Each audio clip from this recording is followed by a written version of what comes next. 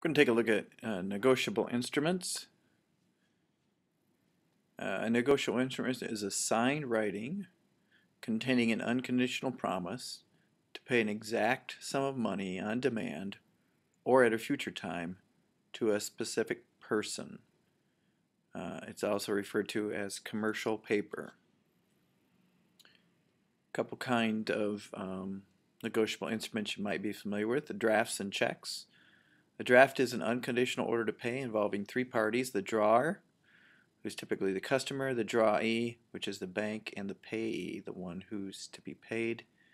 There are time drafts and sight drafts. Time draft is paid at some future time. A sight draft is payable on demand. Uh, on a trade acceptance, the seller is both the drawer and payee. And uh, checks are an example of drafts on a bank and there's cashiers, tellers, and travelers checks. A promissory note is a promise to pay. There are two instruments on a promissory note. The promisor is the maker and the promisee is the bearer. Uh, CDs are also a type of negotiable instrument. Uh, issued when a party, the payee, deposits funds with a bank who's the maker, uh, that the bank promises to repay with interest on a certain date. So basically, you are giving your money to the bank as a loan, and they promise to pay it back in the future with interest on a certain date. There are specific requirements for negotiability. Uh, a writing signed by the maker or the drawer, an unconditional promise or order to pay, a fixed amount of money, uh, it need to be payable, payable on demand or a definite time, and to the order or to bearer. We'll look at each one of those in detail. In terms of written form, it just needs to be on something that uh, lends itself to permanence and portability. So um, the next requirement is a signature. Needs to be signed by a maker if it's a note or CD and signed by the drawer if it's a check or draft. Uh, any symbol uh, even electronic is good for a signature. Unconditional promise or order to pay. Payment cannot be conditioned on the occurrence or non-occurrence of any event. Only unconditional promises are uh, negotiable. Talking about an express promise to pay. Needs to be a fixed amount of money uh, ascertainable on the face of the instrument. It may indicate legal rate of interest so that it could be uh, determined uh, tied to some statute or prime rate. Payable on demand or definite time uh, could include words like payable at sight or payable on presentment. Uh, if no time is presented, it's presumed payable on demand. To be negotiable, uh, an instrument must be payable on demand or a definite time, and there are um, acceleration clauses or extension clauses that don't affect uh, negotiability. If it's payable to order, uh, an order instrument is payable to identified person or order. Uh, the identified person may transfer the check to whomever she wishes. Bearer instrument is literally payable to the possessor or the bearer of the instrument.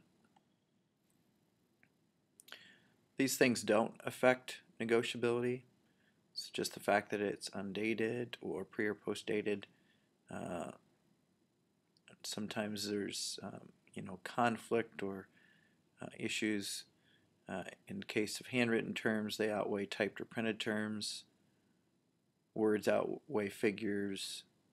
Uh, things like with interest or um, these things, as long as the uh, document has all the elements of negotiability, it's still negotiable. Instruments can be transferred uh, two ways, transfer by assignment or transfer by negotiation. Uh, and transfer by negotiation is a transfer in which the transferee becomes a holder. And book talks about ways of negotiating order bearer instruments. Endorsements, you probably heard of those. Those are typically like on the back of a negotiable instrument, for example, a check, uh, a signature with or without words or statements, Endorser is the person who transfers the instrument by signing it and delivering it to another person. And there are several different types of endorsements. We'll go into more detail. Blank, special, qualified, and restrictive. Qualified endorsements are used by agents on behalf of a principal. An example might be an insurance agent. Something uh, that you might see is something like with without recourse. Uh, and this is to uh, relieve the agent of liability. And a qualified endorsement could uh, have a special or blank endorsement on it.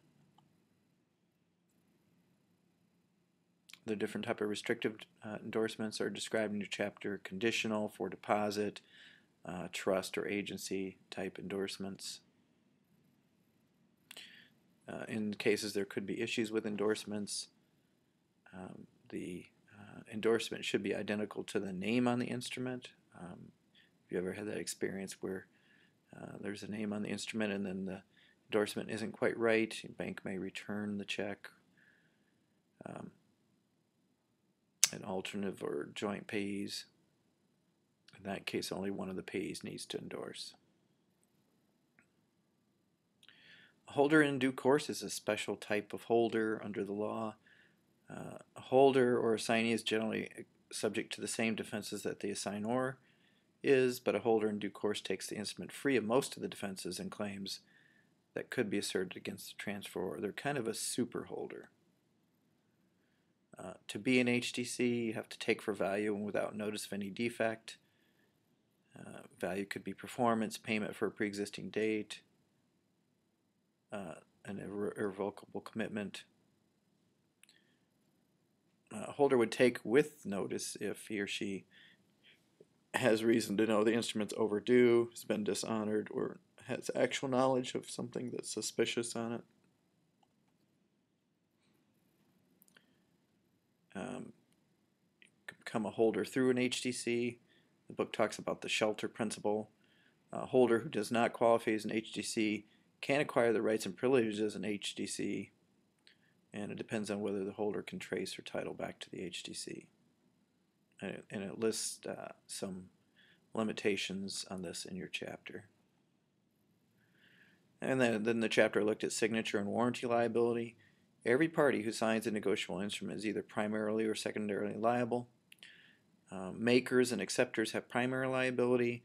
Drawers and endorsers have secondary liability. Um, there's special rules concerning unauthorized signatures. If an agent is authorized, they can bind the principal. Uh, if they're not authorized, a common example would be forgery, then that signature is void. There are also special rules for unauthorized endorsements.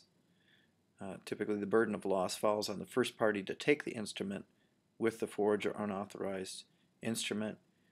And the uh, book goes into detail about um, uh, imposters, you know, somebody um, claiming to be somebody they're not, versus a fictitious payee, that, that, that you are the person, but the, the payee is not real.